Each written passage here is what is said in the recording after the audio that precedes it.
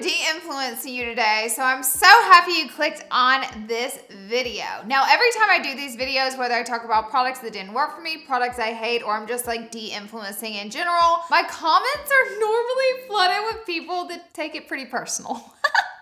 And I don't mean it that way. That's why in these videos, I often explain why they didn't work for me and who the product might work for. It's just like a guidance on like what you're purchasing and where not to waste your money. It's not for people to get upset that I don't like a product that they love because the great thing about the world is we're all different. We all have different needs and wants. So products may work differently on each of us. Anyways, we're gonna jump in. Today's video is de-influencing. I got a bunch of specifically beauty products. Honestly, TikTok sold me on most of these beauty products and they did not work for me. So I'm gonna explain what they are and why they didn't work. And I'll even tell you why they might work for you. Subscribe to my channel before you leave. Subscribe. Let's go ahead and jump right in. I'm gonna start with one of the biggest like bust that I've like experienced in makeup in a long time and I'm so bummed about it. So these are the L'Oreal Infallible Blushes. I bought this one, I believe I picked it up at Target, potentially with Aaron when we did our Target haul. If you guys haven't seen that video, it's on my channel. We did like a self-care haul. And I finally saw these. I saw them on TikTok. Told you the TikTok girlies, they get me. Y'all may think I get you. Well, the TikTok girlies are getting me. By the way, if you don't follow me on TikTok, I will put my username right here. I would love to have you over there because I upload there almost every day and we talk about things, okay? So this is the Infallible Blush and I was so excited to try these because the Infallible products have really worked out for me, like the foundation powder. The bronzers have been iffy, but I have kind of found a shade in them that I have been enjoying. So when the blushes came out, I was like, woo, it's time to fall in love. But guess what? I never say, but this product is too pigmented. Like when do you hear me say a blush is too pigmented? Now I am. This product is too pigmented and I found that whenever I blended it out on my skin, it was super, super patchy. And I think it's patchy because so much product comes off that it just kind of goes everywhere on your cheek. It's not this soft, light flush of color, if that makes sense. Let me show you more. So by the way, this one is in the shade 05 Fearless Coral. I think it's a really pretty shade. They have a bunch of different shades. And just swatching it a little bit, like that's insane, okay?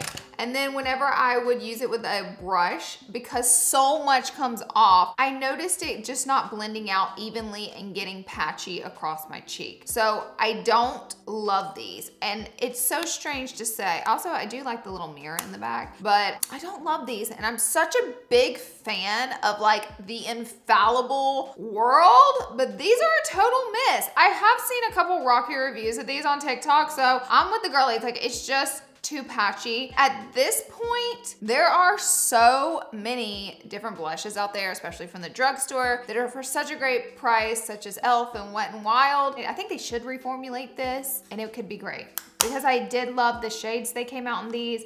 But these were a total miss for me, and I was totally bummed out about that, okay? I wanted to love it, but I don't. Let's talk about a product that I really have enjoyed and raved about forever. But there's just like one product with this, one product with this product. There's one problem with this product. And this is, by the way, this is the Refy, this is their brow gel comes out like this. It's white, but once you get to blend it out in your brows, it does turn clear. So you, it, it really doesn't leave too much white residue. And then you can pull the cap off and you do get this brush, which I do find that the brush is helpful in, you know, pushing the brows upwards for that bushy brow look. Very Gen Z, very what's popular in 2023, as you guys know. So this is like a really popular product on TikTok. It's a really popular product for Refy. And I found a lot of luck with a lot of the Refy products products. But this one I like for a specific like time point in my life. And for me, I have really stubborn brows. They do not like to sit up. My brows are like, uh, we're not gonna do it, Miss Ma'am. Okay, we're gonna be stubborn and we're not gonna stand up. And it's not that I want them to stand up straight. You know, I just want a little, I want a little lift so they look a little fuller.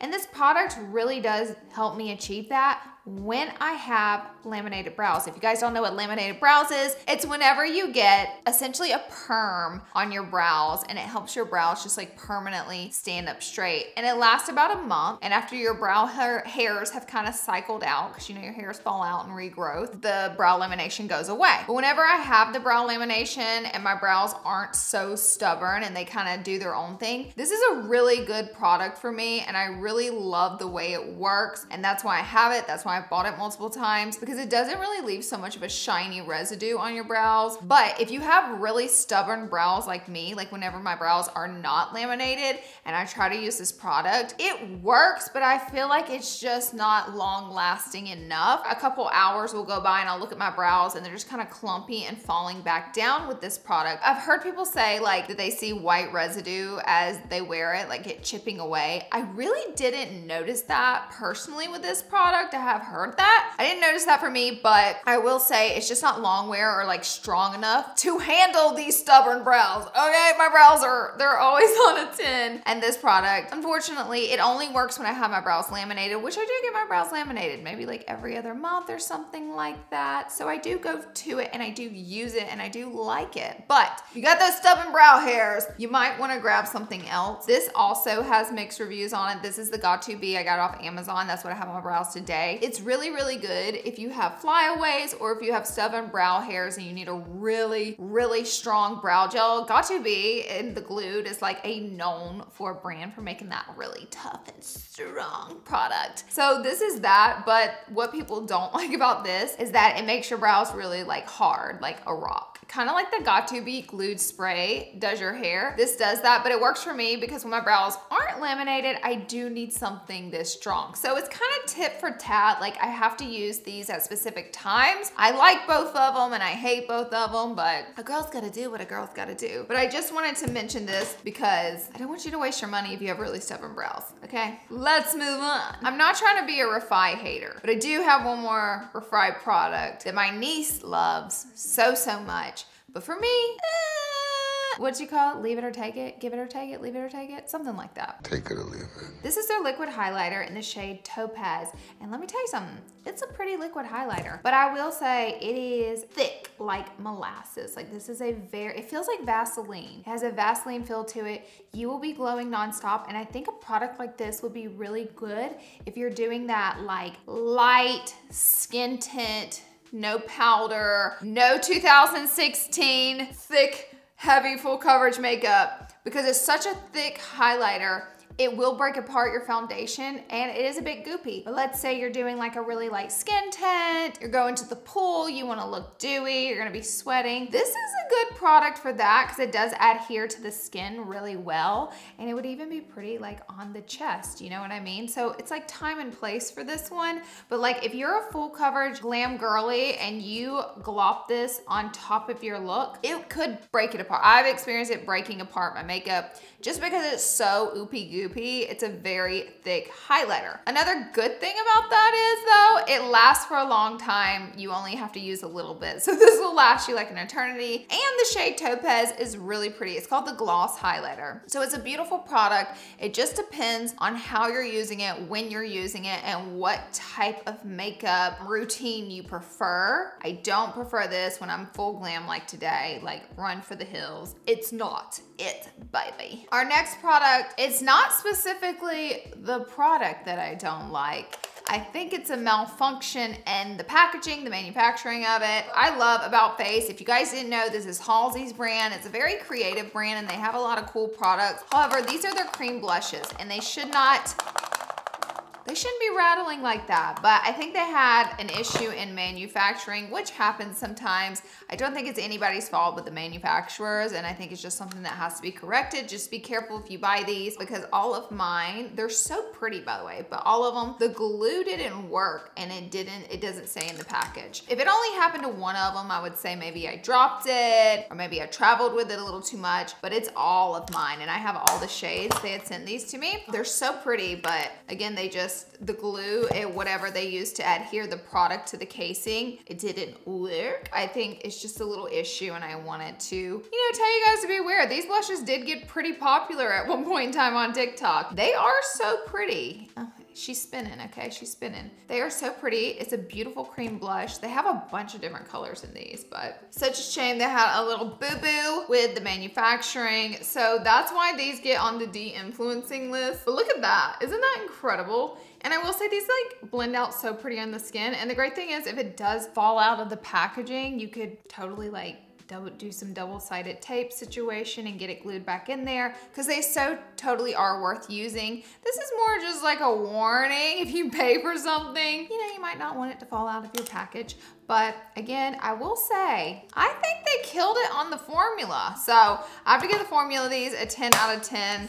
It's just, you know, stuff happens whenever you're creating products. And unfortunately, a lot of the times you don't even know until it goes into all the consumer's hands and then all of a sudden you're getting the feedback and you're like, oh no, this is the end. Let's move on. So y'all, this product is wild to me. I don't even know how this product is on the market. I don't even know who to say this product could be for. This is the Physicians Formula Diamond Setter Shake Me. You're supposed to shake it, but the problem with mine is like I shake it and it even has the little ball in there to help break up the product and get it really good mixed in. Mine never declumpifies in the bottom regardless of how much I shake it. And I think they put like too much of the diamond setter in the setting spray. This is a long lasting setting spray. So this stuff makes my face literally look crazy. First of all, it's like white when it comes out. So I'll have like white speckles all over my makeup. I am not spraying this on my makeup today, girl. Can't be ruining that, but I will show you. We will be doing a demonstration, okay? Let's do it. The mister is fantastic. So you spray it on just to show you the white, okay? And then what happens is once this dries down, it turns my skin to this mermaid white iridescent, almost green, purpley green. It turns me almost purpley green. If you wanna be a mermaid, if you wanna be purpley green, this could be a setting. I want it to dry so you guys can see it. This could be a setting spray for you. But I'm like, this is wild. It says, a, a lustrous diamond dust creates a light diffusing blur. There's no blur. And leaves a translucent veil of luminosity. I think what their goal was to have like this light veil of like glowy skin, but it'd be like, you know, loomy, I don't know. But um, you're starting to see the ashy white look. And once it dries down, it gets this arid, cause that's the diamond part in it. It gets this iridescent light to it, which turns me like purpley green. And you know, I don't wanna be purpley green. So this product was a complete flop for me, I'm gonna say. So I don't know who who's gonna like this. Maybe one specific person out there, I don't know. Let me show you. We're gonna wait for this to dry down just so I can give you the vision. Okay, I think we're dried down enough. Can you guys see like the white cast on my hand of this? Now I think if you used a lot less, it would be less gray white, but it still does leave an interesting cast. And for me, girl, whenever I get done spending this much time on my glam, I don't want any funny business going on for my setting spray to mess it up. Okay, so I want like a clear setting spray that is infused with product to make it dewy, not so much this white. You can almost see a little bit of the green purple come through. It's not the vibes, okay? So it's just something I don't recommend for you guys. Okay, our next product is interesting because I discovered my not love for this product whenever I was on vacation. I recently did a friend's trip with my bestie. We went to Puerto Vallarta, we went to Punta Mita, and we had honestly the best time, but we brought all the sunscreens and all the things. And it's funny, we got the Reese Refreshing Mist setting spray from Supergoop. You are supposed to shake it before you use it, which we did. And what's great about this is like, it's a spray on sunscreen. It has SPF 40 in it and it's water and sweat resistant. So I was like, yes, bring all the Supergoop things because Supergoop happens to be one of my favorite sunscreen brands on the market. I spend hundreds of dollars on Supergoop every single year. I got this little sample of Supergoop at Coachella at the Revolve Festival. They were just like literally handing these out to everyone. I'm like, fabulous. I love a little mini spray sunscreen in my bag, but I never got around to using it. So we brought it on our trip. We used it. We sprayed our face with it. It says it's resetting refreshing mist. So you know, I assumed it was okay for the face. And when I tell you, this burned our eyes. Girl, we were like, oh my God, eyes watering, burning. And it's interesting because this product has like this mint I don't want to say mint flavoring, but it has like this mint scent situation going on in it. And I think that might be, sunscreen can burn your eyes anyways, but I think that could possibly be part of the problem. And I feel like if they took the mintiness out of this, it's like very mentholy, which was so interesting because most sunscreens are kind of just like no scent situation. I don't know, I guess some do. But anyways, it burned her eyes and I don't recommend it. I feel like if they took the mint part of it out, I feel like this would work way better. But Y'all, I don't know. I was a little spooked and gooped and it burned my eyes enough to me not use it again. Now, what's cool is I would use it on the rest of my body because it wouldn't burn those parts because the rest of my body doesn't have eyeballs, but just be careful about using the specific Supergoop Resetting Refreshing Mist on your face, which if it's a refreshing mist, I kind of think it was supposed to be for your face specifically, but I don't know. I'm still gonna use mine because I love a little sunscreen and um, I'm just gonna use it for the body, the body yada yada. You know, I'm just gonna neck down this stuff. And I feel like they should just, personal opinion, let's remove the menthol, the mintiness out of it. We don't need it. Okay, this is wild. So this next product, I used it in my last video where I talked about drugstore products and I talked about why I didn't like this color. This is the Wet n Wild Alice in Wonderland. They just came out with this collection and this is their lipstick in the shade Painted Roses interesting. It's like this orange color. And I feel like a lot of people didn't understand what I was saying, why I didn't like it, because I tried it on and everybody was like, it looks so pretty on you. Like, I like it on you. My point was, whenever you wear lipsticks with this color orange, let me just swatch it. Orange pulls yellow. So if you're gonna wear anything with the undertone orange, it is going to pull the color yellow from your teeth. If you have white teeth, it can make your teeth look yellow. And then I got a lot of comments of people saying, no, that would look good on this skin tone, that's good tone. Not what I was saying. I wasn't saying it doesn't look good on my skin tone. What I was saying is it pulls yellow. Whenever you wear cool tones, like a red with a blue undertone cool is going to specifically make your teeth look white because it's gonna pull white. And that's why a lot of people like that blue, cool tone, undertoned red lipstick because it specifically can make your lip teeth look so white. However, when you get into colors like this that are super orange, this one specifically is like that exact orangey color, okay? It will pull yellow from your teeth. That's why I was saying I didn't like it. That's why I was like, no one should ever make this color because, honey, it will make those gorgeous pearly white teeth look like butter sticks and it's not the vibe, okay? So it's just something to be aware of whenever you're picking your favorite lipstick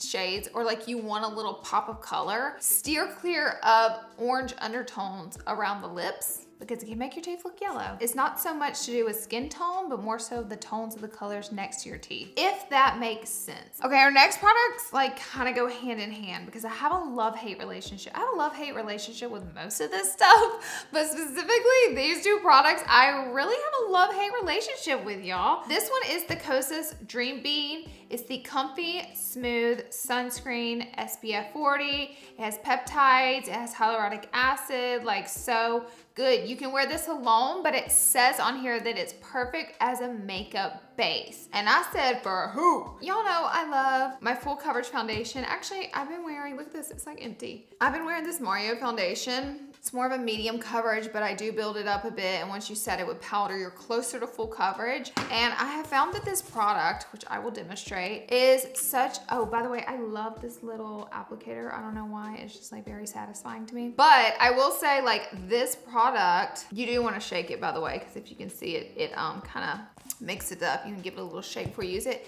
It's so freaking thick and goopy. Again, it's just, look at that. That is just like wildly thick you guys. It's like blah, blah, blah. But it does make for a good product because as a sunscreen, it really adheres to your skin. However, if you're going to the beach, you're going to the pool, go for it. Especially if you're doing that really, again, skin tint light makeup, it's great for under that. But if you're a full coverage girly and you're like getting ready to go out, I put this on whenever I was in Cabo. I put it on under my makeup because obviously I wanted the sun protection while being in Cabo, but I also was taking a lot of content and taking a lot of picture, so I was doing like full glam makeup looks like I have on today, and I noticed it really did break apart my foundation, and I got really patchy and broken apart, and this was the culprit of it. I still will use this product. It's kind of like the Refy. It's just not a good product for like full coverage look as a base for that. You might want to find a sunscreen that has a much lighter formula, so it's not gonna be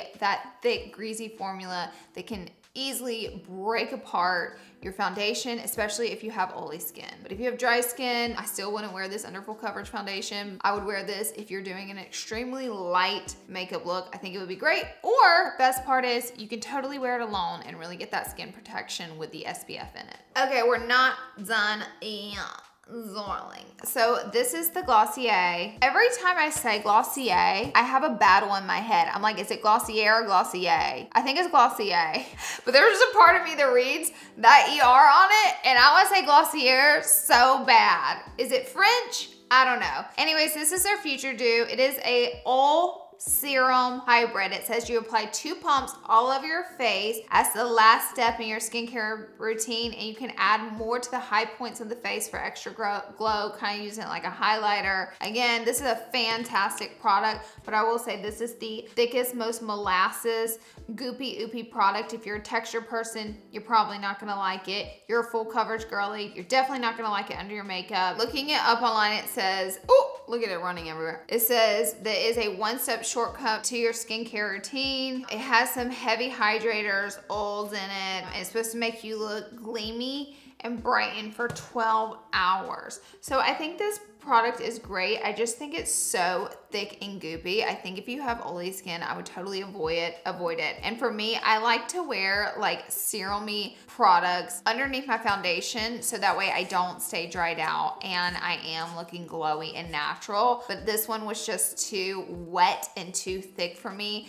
I actually don't love the texture of it without makeup just because it's a little too heavy for my skin. And I do feel like this could easily break me out with just the and just how it feels like I'm putting syrup on my skin. So I didn't love it. I can see a specific person who doesn't mind the texture of things or wants something extra heavy like this because this is a really popular product. So you know, there's time and place for it, just not obsessed with it, so I thought I would throw it in the de-influencing video. Next one is a shocker. Y'all know I love Benefit, you know I'm a big fan, and I'm actually a big fan of Benetint. It's a really cool product, but you know what? I started looking online. I have really dry lips. However, when I drink a ton of water, I have less dry lips, but you know, I always see people putting this all over their cheeks and eyes and lips. There is one trick with this product, because if you have dry lips, this will make your lips lips look crazy.